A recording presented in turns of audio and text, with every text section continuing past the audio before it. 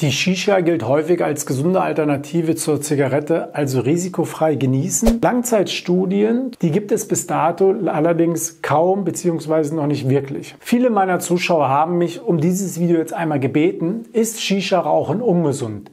Wie ungesund ist es? Was sagt die Wissenschaft dazu? Und das mal aus unabhängiger Sicht.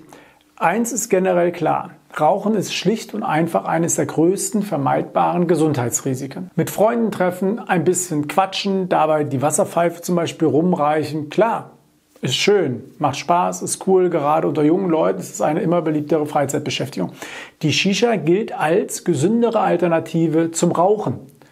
Vielleicht wurde sie Ihnen ja sogar schon mal als Zigarettenalternative auch angepriesen, vorgeschlagen. Manchmal bekommt man das sogar in Videos vorgeschlagen, Shisha-Rauchen ist gesund.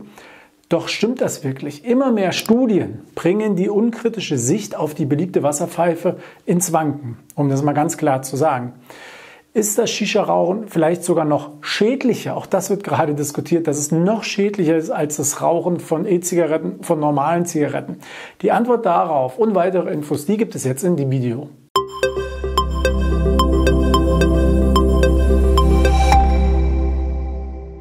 Hallo, mein Name ist Dr. Tobias Weigel. Mit meinem YouTube-Kanal möchte ich medizinisch verständlich und korrekt aufklären über Krankungen, Symptome dieser Erkrankung, aber auch Ursachen von Erkrankungen und Rauchen. Shisha-Rauchen zum Beispiel kann dazugehören. Deswegen, wenn Sie mehr dazu wissen wollen, gerne abonnieren Sie jetzt meinen Kanal. Während Zigarettenrauchen vor allem der jüngeren Generation immer uncooler wird, da ist quasi der Zahn gezogen, nimmt der Hype um die Wasserpfeife stetig zu.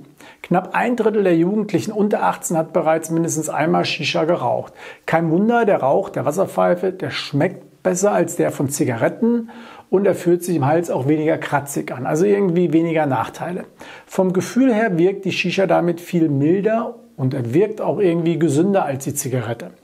Doch wussten Sie, dass der Tabak in der Shisha die gleichen Schadstoffe enthält wie der in der Zigarette?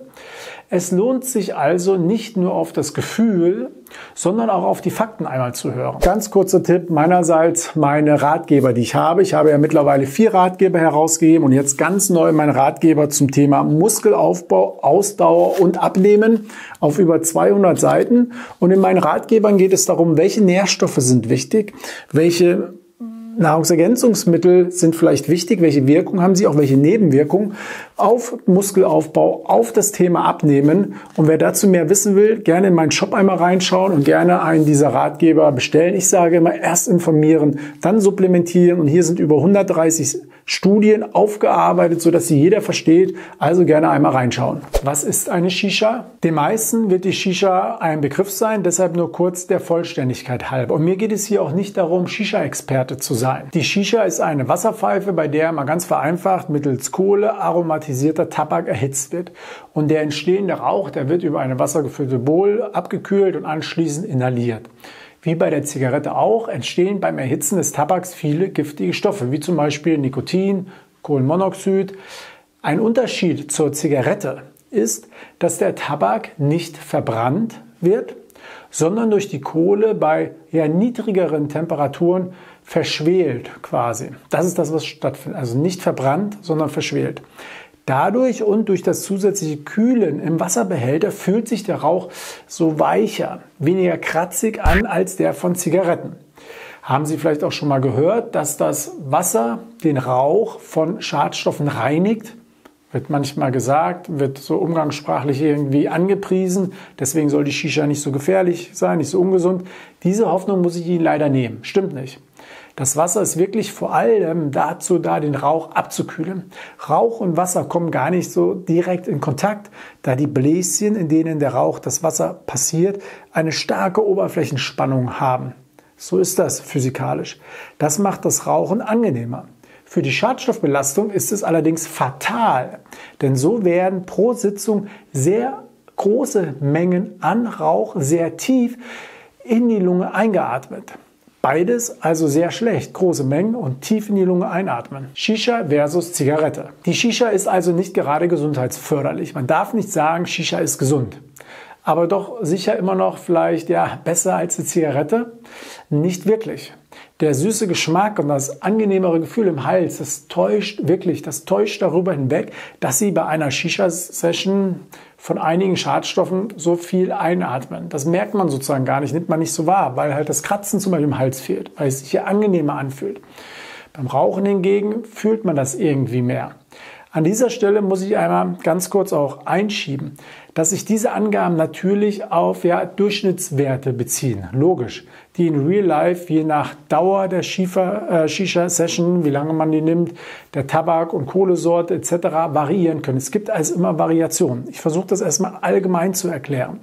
Bei einer etwa einstündigen Sitzung kommt man zum Beispiel durchschnittlich auf eine zehnfach höhere Belastung mit Kohlenstoffmonoxid und eine sogar 36-fach höheren Belastung mit Teer im Vergleich zum Rauchen einer Zigarette.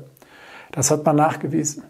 Vielleicht wird jetzt der ein oder andere unter Ihnen stutzig, denn oftmals hört man von Shisha-Fans, dass die Wasserpfeife ja gerade gesünder ist weil sie vielleicht kein Teer enthält. Natürlich muss man jetzt unterscheiden. Eine Zigarette wird vielleicht mehrmals am Tag geraucht. Die Wasserpfeife, diese eine Stunde, macht man nur alle zwei Tage. Aber dennoch sehen Sie, die Wasserpfeife selber ist nicht gesund. Durch das Verschwelen des Tabaks wird aber nachträglich Teer nämlich auch gebildet.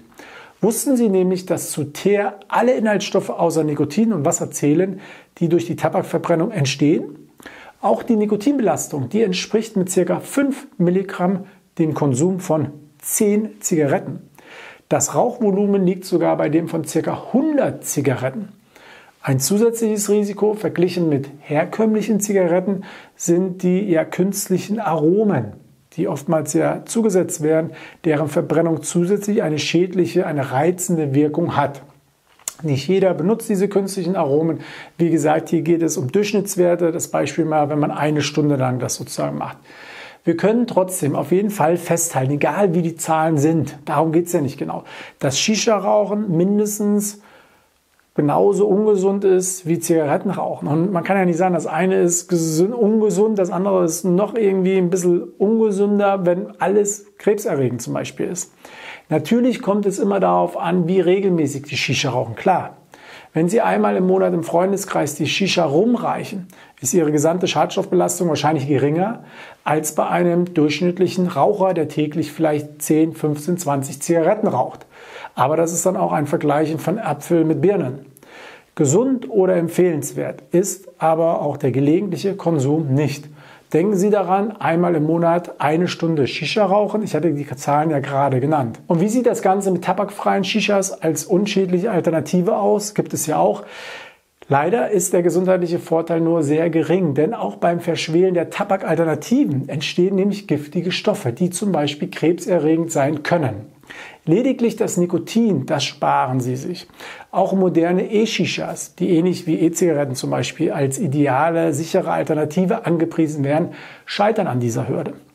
Langzeitstudien zu deren Auswirkungen auf die ja, Gesundheit, die gibt es bis dato allerdings kaum bzw. noch nicht wirklich. Was sind die gesundheitlichen Folgen? Doch was sind denn nun konkret die Gesundheitsschäden, die durch die Shisha-Rauchen äh, auftreten können?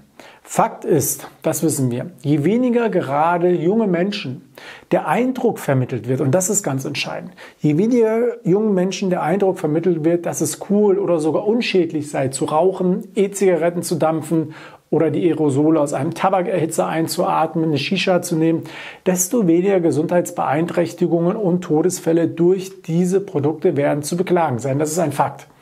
Und Shisha äh, gehört quasi dazu. Sie haben schon gesehen, dass beim Shisha-Rauchen ähnliche Schadstoffe in die Lunge gelangen, wie es beim Rauchen der Fall ist. Deshalb sind auch die möglichen ja, Folgen, gesundheitlichen Folgen sehr ähnlich. Stichwort Lungenkrebs. Wissenschaftliche Studien speziell zu den Langzeitfolgen, wie gesagt, vom Shisha-Rauchen sind noch Mangelware, fehlen. Leider, hatte ich gerade auch schon gesagt. Trotzdem besteht zweifellos ein erhöhtes Krebsrisiko kann man sich ja selber jetzt auch ableiten. Das Nikotin und der Teer im Tabak, die sind nur zwei von 27 Substanzen, die im Verdacht stehen, krebserregend zu sein. Also da gibt es noch viel mehr als das Nikotin zum Beispiel. 27 Stück.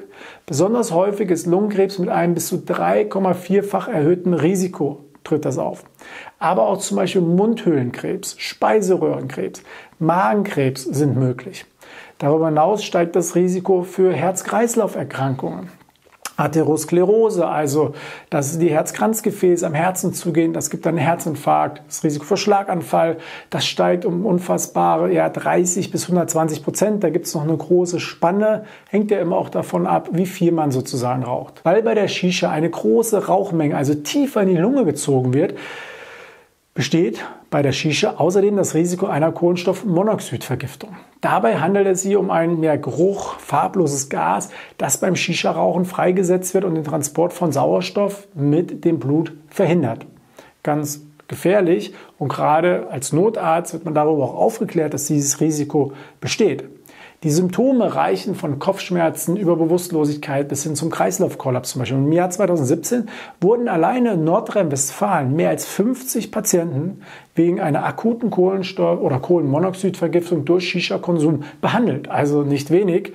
Und deswegen für mich als Notarzt ist das wirklich eine Szene, die vorkommen kann. Und da muss man sich auch selber schützen. Deswegen, wenn man da in eine Shisha-Bar zum Beispiel gerufen wird mit so einem Verdacht, dann geht logischerweise zuerst die Feuerwehr rein und erst dann kommen wir. Besteht Suchtgefahr? Was man bei allen Parallelen zum Zigarettenrauchen hervorheben muss, für viele ist die Wasserpfeife kein täglicher Begleiter, eine Zigarette muss man irgendwie täglich rauchen, sondern gehört eher zum gelegentlichen Freizeitvergnügen. Das ist soweit ja eine gute Sache.